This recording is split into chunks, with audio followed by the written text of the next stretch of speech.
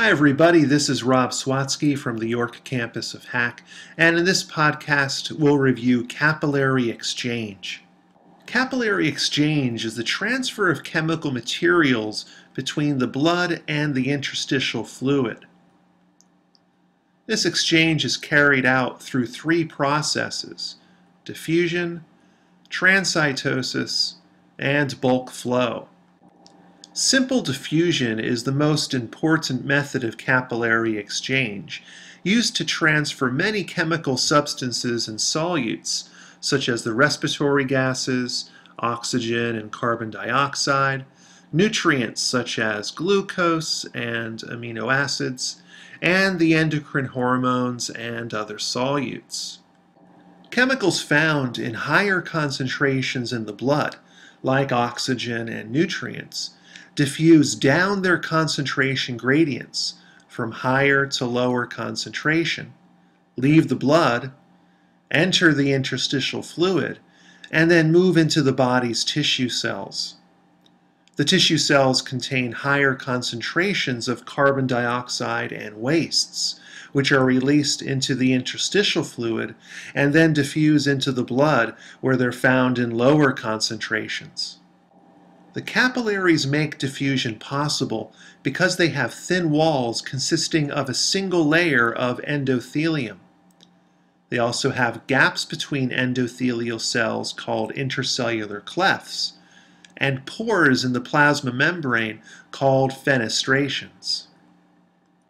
Chemicals that are soluble in water move through the capillaries' intercellular clefts and fenestrations while lipid-soluble chemicals, including oxygen, carbon dioxide, and the steroid hormones, are transported directly across the plasma membrane of the endothelial cells. Larger chemicals like plasma proteins and red blood cells are too big to pass across the walls of continuous and fenestrated capillaries or through their clefts and fenestrations. These chemicals are more easily transferred in sinusoids, such as those found in the liver and red bone marrow, due to the presence of large intercellular clefts in their vessel walls. The brain contains capillaries that are just the opposite of sinusoids, preventing most chemicals from being exchanged through their walls. These capillaries form what is called the blood-brain barrier, also known for short as the triple B, and consist of continuous capillaries that have tight junctions that form seals in between the endothelial cells. Only a few areas of the brain have regular capillary exchange, such as the pituitary gland, pineal gland, and the hypothalamus. Transcytosis is a method of transport used to transfer large, lipid insoluble chemicals, including the protein hormone insulin and some antibodies, that have a difficult time moving across capillary walls due to their size. In transcytosis, endothelial cells take in chemicals through vesicular transport mechanisms, including endocytosis, then they enclose these chemicals within their vesicles, transport them through the cell, and then release them out the other side via exocytosis. Bulk flow is a method of transporting large quantities of chemicals, including ions, together in the same direction. Diffusion by itself can be a slow process, but by transporting chemicals in large amounts, rates of diffusion can increase. The reason is because bulk flow relies on pressure differences, where substances are transported down a pressure gradient from an area of higher pressure to an area of lower pressure. Bulk flow plays an important role in the regulation of the relative volumes of blood and interstitial fluid. There are two components to bulk flow, filtration and reabsorption. Filtration is the transport of solutes and fluid out of the blood capillaries and into the interstitial fluid through a difference in pressures. Reabsorption is the opposite movement, transporting substances via pressure difference from the interstitial fluid into the blood capillaries. There are two pressures that promote filtration blood hydrostatic pressure, or BHP, which is the pressure produced as a result of the heart's contraction, and interstitial fluid osmotic pressure, also called IFOP, IFOP. Reabsorption of fluid is promoted mainly by blood colloid osmotic pressure, or BCOP. Net filtration pressure, or NFP, is the overall result of the interaction of the two forces, filtration and reabsorption, respectively, and indicates whether or not blood volume or interstitial fluid volume will change or stay the same. In normal circumstances, the volume of solids and fluid reabsorbed is approximately the same as the volume that is filtered. This balance is called Starling's law of the capillaries. Blood hydrostatic pressure, or BHP, is the result of the pressure of the water in blood plasma against the blood vessel walls. The term hydrostatic refers to water pressure. Think of it as similar to the water pressure inside a garden hose that has been turned on. At the arterial end of a capillary bed, where blood is entering the capillaries, the BHP is around 35 millimeters of mercury in pressure, while at the venous end, the BHP is around 16 millimeters of mercury. The higher BHP entering the capillary bed is able to push fluid out of the capillaries and into the interstitial fluid. Think of this with our garden hose analogy but now with the hose punctured by tiny holes. The water escaping the hose through the holes is like the fluid being filtered out of the capillary. The opposing force to the BHP is called the interstitial fluid hydrostatic pressure, or IFHP, which pushes fluid back into the capillaries from the interstitial spaces between tissue cells. The IFHP is a very weak pressure force and is often close to zero millimeters of mercury in pressure throughout the entire capillary bed region, which is what we'll assume for this overview. The large proteins in the blood plasma are too big to leave the capillaries, and collectively they generate a counterforce called blood colloid osmotic pressure, or BCOP. Osmotic pressure is the force created by the tendency of water to move across a selectively permeable membrane toward a solution with a higher concentration of large solutes, usually proteins, that are too big to pass through the membrane. The larger the solute concentration, the larger the osmotic pressure. This pressure is around 26 millimeters of mercury, and does not change much throughout the entire length of the capillary bed. This helps to pull fluid into the capillaries from the surrounding interstitial fluid.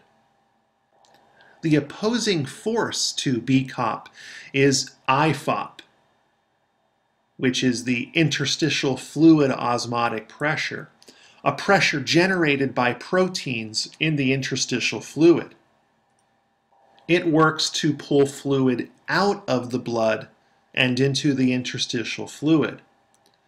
IFOP is usually a small value from 0.1 to 5 millimeters of mercury due to the small concentration of protein in the interstitial fluid. We'll assume a value of 1 millimeter of mercury for this overview.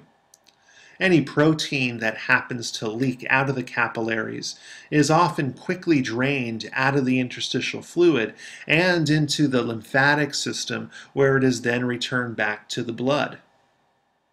The interactions of all of these various pressures dictates whether or not fluid will enter or leave the capillaries. Fluid will be pushed out of the capillaries and into the interstitial fluid during filtration if the filtration pressures are higher than the reabsorption pressures. And the reverse is true if the pressures that promote reabsorption are higher than the pressures that promote filtration more fluid will then enter the capillaries. We can determine the overall direction of fluid movement by calculating the net filtration pressure. This can be calculated through the following equation. We can add together the blood hydrostatic pressure with the interstitial fluid osmotic pressure. These are the pressures that are promoting filtration and subtract that number from the pressures that promote reabsorption. The BCOP, the blood colloid osmotic pressure, and the interstitial fluid hydrostatic pressure. At the capillary bed's arterial end, the net filtration pressure is around 10 millimeters of mercury, which is the net outward pressure that promotes filtration out of the capillary and into the interstitial fluid. Under normal circumstances, BHP is equal to 35 and IFOP is equal to 1 millimeter of mercury in pressure for a total filtration pressure of 36, while BCOP is equal to 26 and IFHP is equal to 0 millimeters of mercury for a total reabsorption pressure of 26 millimeters of mercury. The difference between 36 and 26 is equal to 10 millimeters of mercury in pressure. This filtering of the blood plasma is the only way that the body can generate interstitial fluid. At the venule end of the capillary bed, the net filtration pressure is equal to negative 9 millimeters of mercury. This is the net inward pressure that promotes reabsorption of fluid into the capillary from the interstitial fluid.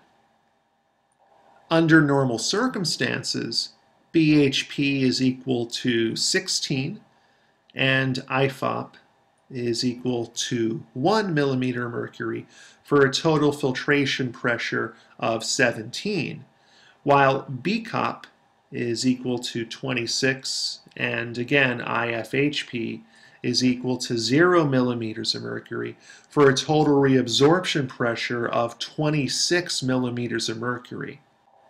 The difference between 17 and 26 millimeters of mercury is negative 9. Most of the fluid that leaves the capillaries during filtration, approximately 85% of it, is reabsorbed back into the capillaries from the interstitial fluid.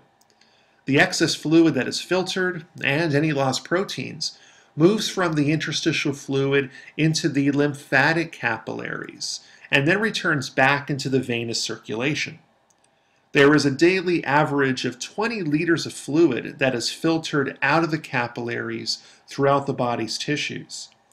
Of this 20 liters, 17 liters are reabsorbed into the blood, and 3 liters are taken into the lymphatic capillaries.